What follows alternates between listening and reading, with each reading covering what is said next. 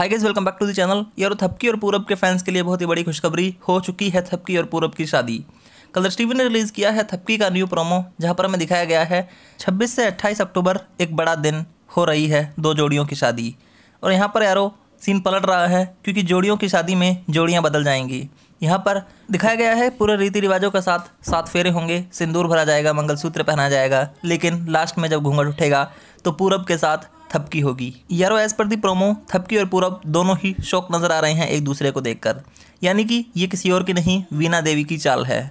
लेकिन साथ ही साथ एज पर दी अपडेट्स अंदाज़ा ये भी लगाया जा रहा है कि जैसे ही पूरब को पता चला कि उसके भाई की लाइफ बर्बाद हो जाएगी, थपकी से शादी कर कर तो वो भी एक बलिदान देता हुआ नज़र आ रहा है। अब ये देखना ज़बरदस्त होगा कि ये चाल पूरब की है या फिर सिर्फ़ वीना देवी की। तो यारो फाइनली हो ही गई पूरब और थपकी की शादी। अब शादी के बाद वीना देवी के सामने सच्चाई आएगी थपकी की, अटक अटक कर बोलने की। फिर किस तरीके से पलटेगी ये कहानी, देखना बहुत ही ज़बरदस्त होगा। आपको क्या लगता है कमेंट में ज़रूर बताइएगा। और बाकी के अपडेट्स के लिए आप इस चैनल को सब्सक्राइब करके बेल आइकन ज़रूर प्रेस कर दीजिएगा। मैं आपसे फिर मिलूँगा और अपडेट्स के साथ। Bye take care